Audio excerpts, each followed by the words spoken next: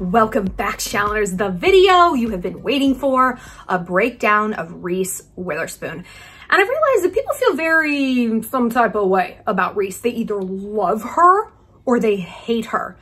I'm kind of somewhere in the middle. I can see a lot of good that she does. I think she's raised her kids right. Like I love that her daughter like drives a hoopty, had a job, like stays off the gram, like is she's raising like a normal person. Whereas a lot of people in Hollywood, uh, Lori Loughlin, you're not really raising um like future senators there.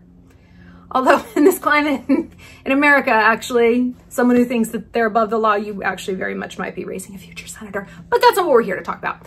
We're here to talk about Reese because a lot of the things people say about her behind the scenes is that she is that classic bitchy Southern belle. And if you don't know what that is, oh, I'll break it down. I guarantee that for most of you, you've encountered some woman like this, whether or not it comes in like a southern, a sweet old southern coating or just kind of more out in the open. We're gonna talk about how to deal with frenemies and the sweet mean girl.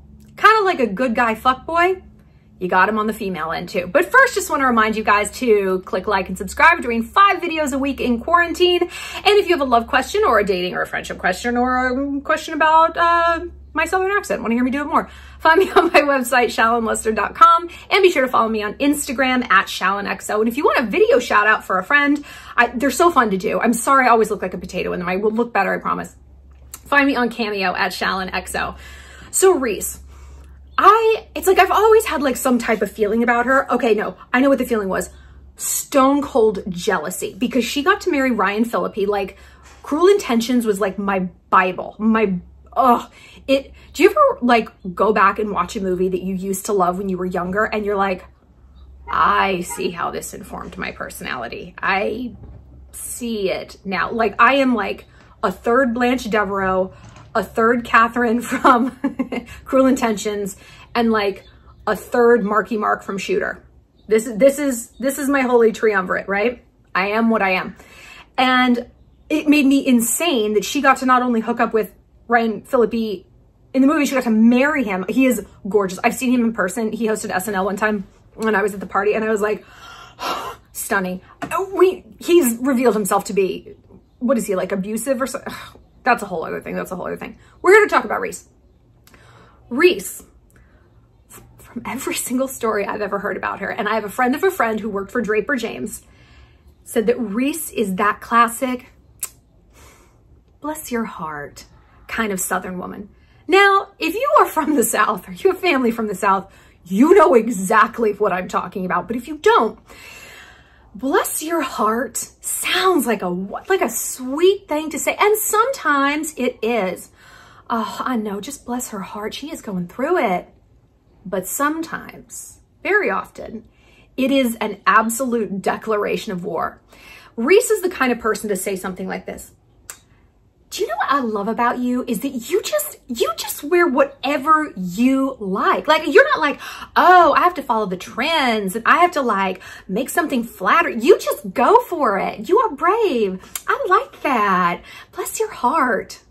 You're like, hey, wait, what? It, was this a compliment or was this like the worst burn of my entire life? I've heard Taylor Swift is like this. Katy Perry said that Taylor Swift was like this. And Reese is definitely like this too, that you're like, and it's the kind of behavior that you can't be like, well, fuck you, because then you look crazy. Because on the outside, ostensibly, they were paying you a compliment, but it wasn't. It wasn't even a backhanded compliment. It was just like, what? I, what? And so it's really difficult to identify people like this because they are charming. And some people, woof, that would go right over their head. They'd be like, thank you. I do feel brave. I do wear what I like. I like that. Seeing what I'm wearing, I'm, I'm in like one of 10 trillion caftans because as you guys know, I was on my way to Bali before we got quarantined. So it's like all I packed. And now that it's 90 degrees, I can't just be in my Target hoodies anymore. So I'm like, we're doing it. I'm going to go back outside to my slip and slide. So that was very much, not was, that is very much Reese's vibe. And the friend of a friend who worked for Draper James was like, it is the biggest pack of catty bitches I've ever seen, and I have worked in luxury PR my whole career. Luxury PR is an important distinction. if you don't know what PR is, PR is public relations. And you can have um you can have a public relations person who represents like another person. Like Taylor Swift has a PR person, right? Or you can have a PR person who's what they call in-house. They work specifically for a brand. They work for Fenty. They work for Draper James. And then you can have PR companies and they have many different clients, you know, like a like a pimp. You know, and they represent this restaurant and that celebrity and that eyeshadow and blah blah blah. So luxury PR is as it sounds. It is like the grand like everyone who works in PR wants to work and they want to work for Prada, they want to work for La Mer, they want to work for Supreme and whatever because it's like you get all the cool stuff, you get to go to all the shows, like there's a lot of cachet there and it invites literally the worst kind of personalities you can possibly imagine. I worked for a luxury um, publication for a while and we would interface with luxury PR because they would pitch us their companies and their supercars and their helicopters and stuff like that. And every girl I met was worse than the one before. Just like, oh my God. Yeah. She, it was stuff like, you're so, I just love that you just like wear leggings. I mean, like it's fashion week and you're just like in leggings. Like, I don't give a fuck. This is me. I love it. We should get a coffee. And I'm like, no, Allie, we are not getting a coffee, you know, but I was old enough to like see through that. But like a lot of other girls, they'd be like, yeah, I, and it would corrode, erode their own self-esteem, you know? And apparently that's very much the Draper James culture. Draper James is Reese Witherspoon's company. And I'm like, ah, uh, I fucking knew it. I can't believe her company's as successful as it is. I think their designs are like, hmm, they're fine. I don't, I don't know. They're inoffensive, whatever. But Reese has had a bit of a, bit of a, bit of a spell lately. There was the whole thing with her giving away dresses for teachers. And I read the initial announcement about this and it seemed very obvious to me that this was a giveaway. It wasn't, it was like a, like a contest, like a raffle. It wasn't every teacher in America gets a dress.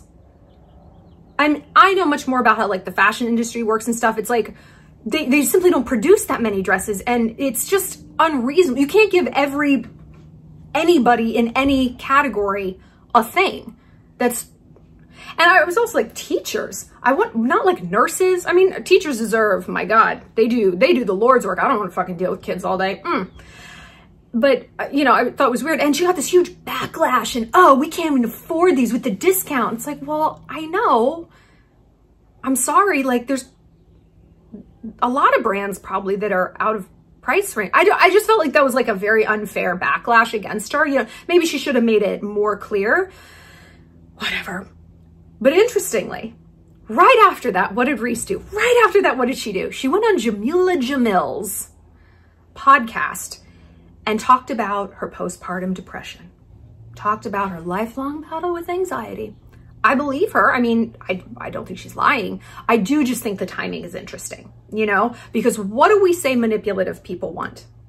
Pity. It's very useful to get people back on your side. I think it's kind of a hacky move. I think it's like a, a cheap card to play, but I'm sure that she helped some women going through postpartum and, you know, you look at Reese's life, you're like, it's so perfect. And now it's like, no, like you can have all the money in the world. You can have all the nannies in the world. Postpartum is not contingent on the logistics. It, it comes from inside, you know? So I'm sure that that was helpful for a lot of people, but that's not what I want to talk about. That's not the only thing I want to talk about. I want to talk about how to deal with women like Reese that bless your heart.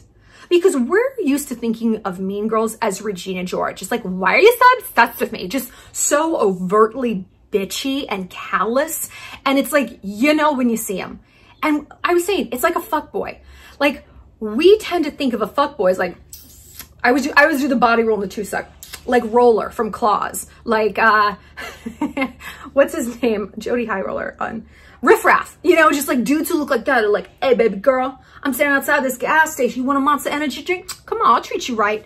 That's not how they always are, right? Danger takes many faces. The devil knows many names. We most often get caught up with a good guy fuckboy who does seem nice, does have like his head on his shoulders, like but he's, and he might be all of those things, but he's a fuck boy to us. He's not giving us what we want. He's fucking with our hearts and our minds. He's leading us on. He's ghosting. So he might be a good person, but he is a fuck boy. So you can have a Regina George, but you can also have a Reese Witherspoon. I think Reese is like, I don't think she's like a bad person. You know, she does a lot of good things, but I believe she is like, she's the frenemy type. She's the frenemy type. And it turns out there is a clinical term for this frenemy behavior, relational aggression. Dr. Laura Choate, who I read a lot of her stuff, she's written a lot of stuff on like female friendships and female dynamics and stuff. She kind of broke down what relational aggression is. She said it's defined as the act of hurting others by manipulating or harming their relationship. Girls learn to use relational aggression for a variety of reasons, but they keep using it primarily because it works so well to get girls what they want, popularity, status, and it continues because girls who are not in the inner circle of popularity are fearful to challenge the relational perp perpetrator, the Reese, out of fear that they too will become the next victims. Sounds a lot like a Regina George, right? And it's true. If I've dealt with a Reese before. In my old friend group, there was this girl and she was so fucking like that. And one of our other friends, like it was like one of her best friends, but me and this Reese, we just didn't like each other. Like, you know how you have two dogs like walking down the street and you're like, Waffles is great, Noodles is great, and they see each other and they're just like, rah, rah, rah. it's just this animal, no. And that was her and I. We just looked at each other and we're like, mm. And I was fine to just be like acquaintances, keep it moving. I don't, I don't care. I don't need to be friends with everyone. I barely have time to see all the friends I do have, you know? But I, it's like, I'm not interested in making enemies. Like, if it don't get me laid and it don't get me paid, I don't need to be doing it. That was not her vibe. She would say all these passive aggressive things about me. Like I had, I had been dealing with a boy who had cheated on me and way early on in my relationship with him. Like we weren't even official. We were still talking. I was at a concert and I made out with some boy on like in, in the pit. It was like nothing. I didn't even know his name. And she's like, okay, well, why are you mad James cheated on you when you kissed that boy at the concert? And my friends were like, Kristen. And I was like, you don't know me like that. First of all, you're new to this group. You don't know my history. You don't know anything. I don't even know why you know that about me. And I was like looking at my other friends. I was like, how does she know this? Like I like bit back because I'm like, what it told me is I can't trust you because you're gonna you're gonna come around my boyfriend and be like, don't feel bad that you cheated. She totally kissed a guy last July. Like she would be that bitch who did that. And so I'm like, I don't need this. But my tactic a lot of times is to call people out for things, you know, to the surprise of no one. I'm a bit of a loudmouth, but because I don't want people to think that I'm the one. I don't want people to think I'm an easy target. I'm not. I'm not. I mean, for some people I am. For some people, big symbols make big targets. But in my interpersonal relationship, it's like, no, you're actually not going to speak to me that way. No, you're actually not going to terrorize me. And you can put a little smile and a bow on it. I see through the bullshit. So you, you sell that shit someplace else, sweetheart. So the people like Reese, it can be hard to go against them because if you're in a work setting, you're going to look like the crazy sensitive one. Even if it's not work, work, family. We know people like this in family too, right? Friendships. It's like, it's just this sort of mass gaslighting where if you say to someone else, I fucking hate that bitch Reese, they're to be like, what do you mean? She's so nice. She said she liked your outfit. I was like, she didn't. A lot of times other people aren't to see it. Maybe subconsciously they do. And it goes back to what Dr. Choate was saying that like they don't want to stand up to this queen bee and risk getting thrown out of the group because why? Our social inclusion needs, as we just talked about in one of our last videos, the Tiger King videos, is sometimes more intense than our need for survival, for emotional survival. Hey, I'll throw I'll throw her under the bus if it means I get to keep my place in this tribe, right? And that is especially true when you're young. Like when we, you grow up and you're an adult, you learn that like tribes shift and it's not like, I'm sitting with all my best friends at lunch. Otherwise I don't have friends. You're like, no, we're at our individual places of employment. It's completely fine. You know, you learn to like be on your own a little bit more and get that self-esteem from within a little bit more. But when you're young, like, no, like, what are you going to do? Bite the queen bee? Bite the hand that feeds you, feeds your popularity, gets you invited to things, gets the hot boys to come and talk to you? Maybe not. But there are some things you can do to combat this. First of all, acknowledge that this is not how friendships go. This is not just a normal part of the relationship. The relational aggression is not, it just because it's common doesn't mean that it's okay. A lot of shitty things are common. Vaping is common. It is not okay, girls. What does it do to your body? We don't know. We don't know. I don't want to know.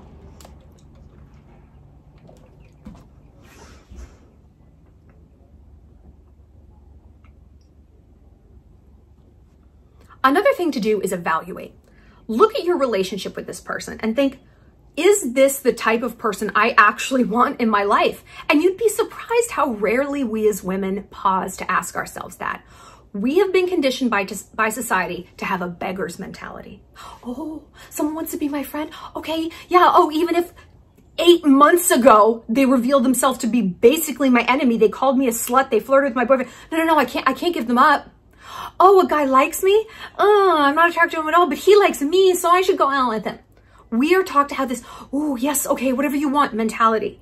And we are not taught to stand back and be like, no, no. Well, bitch, I'm teaching you that now, aren't I? That's what we do here on this channel.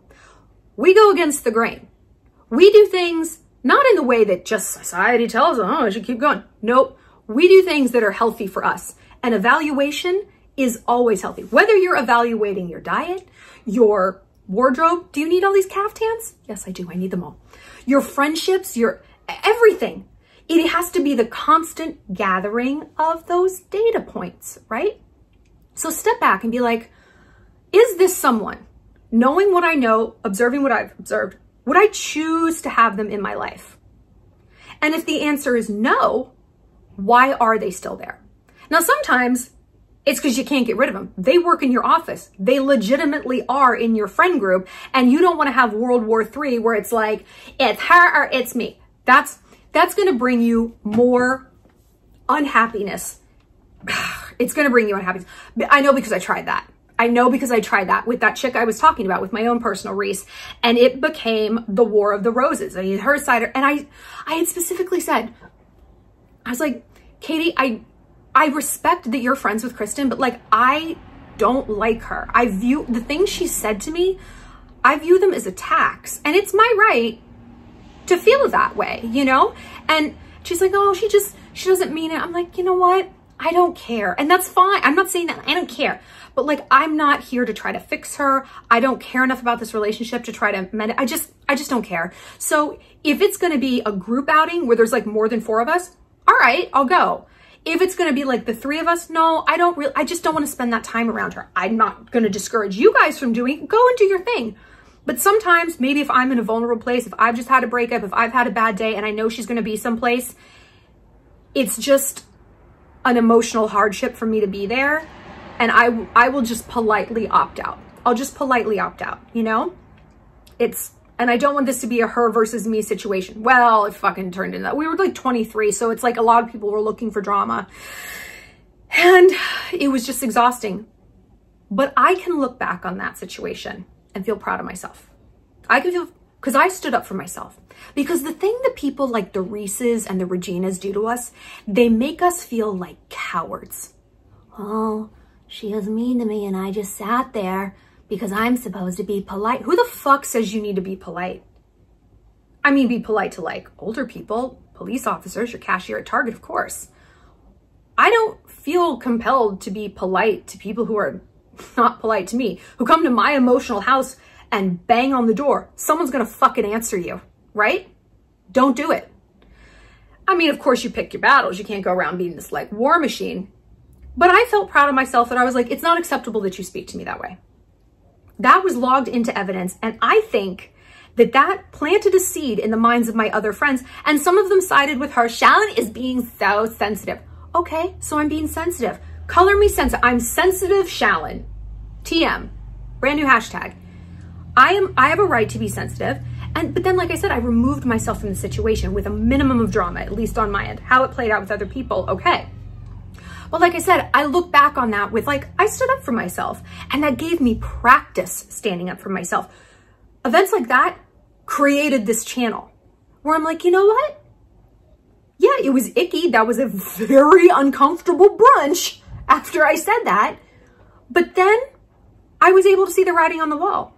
My friends who were like, Shallon was being crazy. Oh, well then you can go with Reese as well.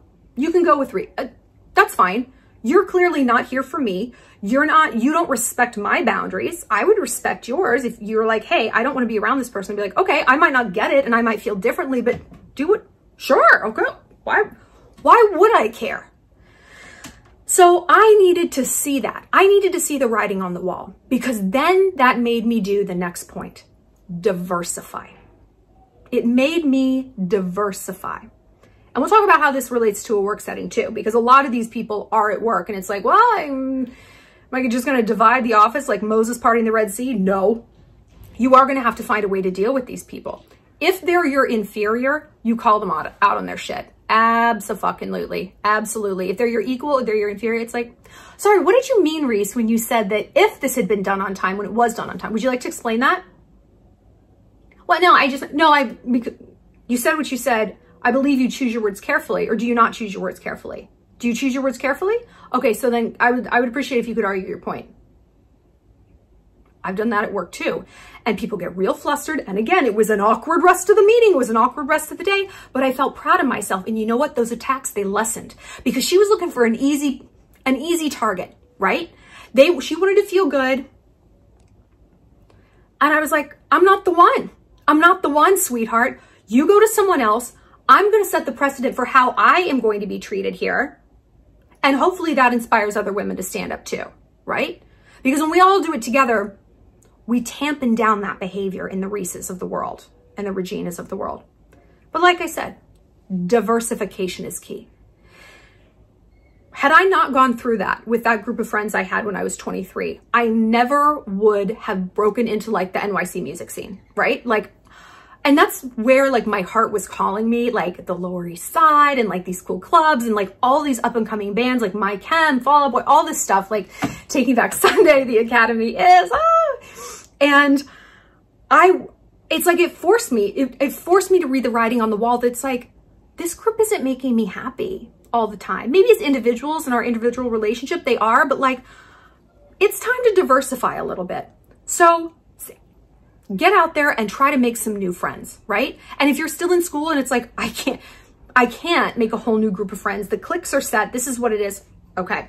Then you throw yourself into causes, clubs, sports, right? Run for student council president. Start the sober driving club and you go around and pick people up. You know, join Latin club. There are ways to get involved. Fuck, I wish I was still in school. Like there's so many ways to be socially involved. Whereas when you get out into the, re- the real world, you're in a real world, you know what I mean? When you get post-college life, it's like, you got to try a lot harder to make friends and it's not impossible. But I've always said the number one question I get from you guys is how to make friends as an adult. It's tricky and it takes more intention. And that's not something we're used to. And it feels even harder when we're coming from a place of feeling wounded, like, oh, I've just left this group. But reframe it. You're not wounded. You are flying so, you are powerful. You are armed. You're like, I've stood up for myself. I am now a leader in my own life. I am now a warm-blooded animal. And if this is happening at work, try to make friends with people from other divisions. Not necessarily allies, but maybe. Maybe if they can be like, oh yeah, like I've noticed her being weird.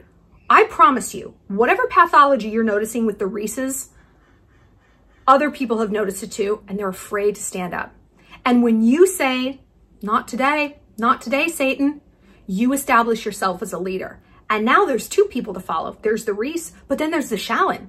And the same people are going to be like, I want to be on Team Shallon. I did that at my old job and I, I truly think it, you know, contributed to me leaving. But like, I was willing to stand up and be like, this is not right. What we're doing is not right. What we're writing about is not right. And that big symbols make big targets. And that's all right. I've always been willing to put myself in the line of fire to like help give other people a voice. It injustice makes me insane. It makes me, I'm an Aquarius. I'm very concerned with, with justice. you guys know. And so that was always like, I'm, I'm willing to be not liked if it means I'm helping the people who actually I need to help. I don't want to be popular to the masses. I could give a fuck, right? I am here to help the other mighty women. And that's got downsides. And it might have downsides for you, but you know what it's going to have? Authenticity. It's going to have pride. All right, some people don't like me. I like me. I can look myself in the eye and be like, today I fought the good fight.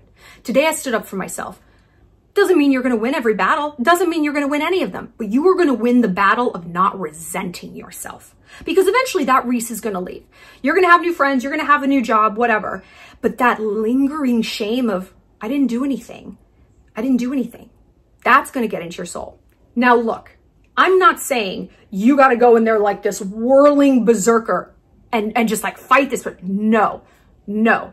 But if there are situations where you're like, this is not okay with me, write it down. Mind map what this person might potentially say or do to you and pre-decide your reaction. Okay, all the way from the minor, she bless your heart over your outfit, to the major, she calls me fat. She tries to hook up with my boyfriend.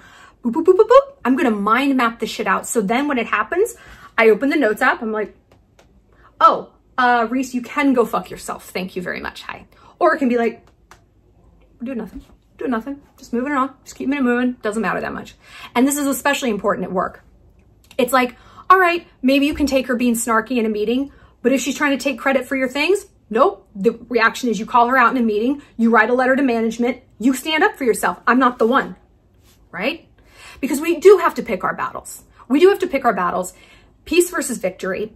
And you want inner peace and you want, you, like I said, you want to be able to look yourself in the eye and be like, I did right by myself.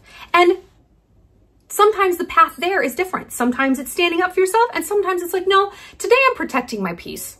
I want to have a good brunch. I don't care that she said my outfit's stupid. I don't care about her opinion. I don't care. I'm protecting my peace. And to me, that is victory. I want to know your thoughts on Reese. Does she, is she a bless your heart? Like she is cute, you know, but she's, she's a, she's a bit of a bless your hearter. And, you know, they're all over. I'm used to dealing with them. My family's Southern. So I've been told bless your heart more than once by my grandmother. They were not good days. anyway, click like and subscribe for new videos, probably every other day, five new videos a week. And like I said, follow me on Instagram at ShallonXO. And if you have a love question, want to talk to me one-on-one, -on -one, find me on my website, shallonlester.com and click get help. Bye y'all.